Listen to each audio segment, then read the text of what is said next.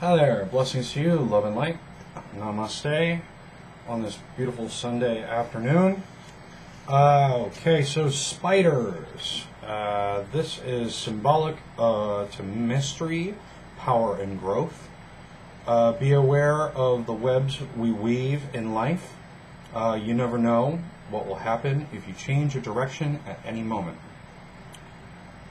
Uh, also, invoke the power of the spider when you need balance to walk in this reality much easier than normal.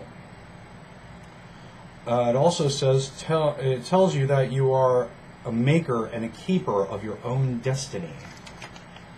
Uh, the next one says call on the spider power if you feel stuck or trying to be creative, uh, but it, it doesn't uh, if it doesn't seem to be happening right away. Also, it symbolizes um, in many ancient cultures the essence of the feminine. It also says to raise your energy or vibrational frequency to promote abundance and success in your life.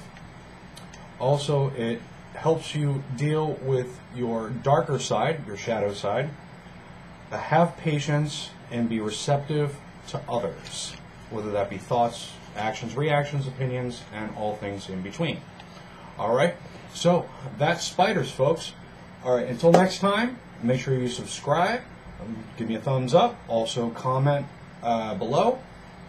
If you want to see other great videos, other totem animals, or me speaking about other subjects, please feel free to comment at, on this post, and I will get back to you momentarily with new videos.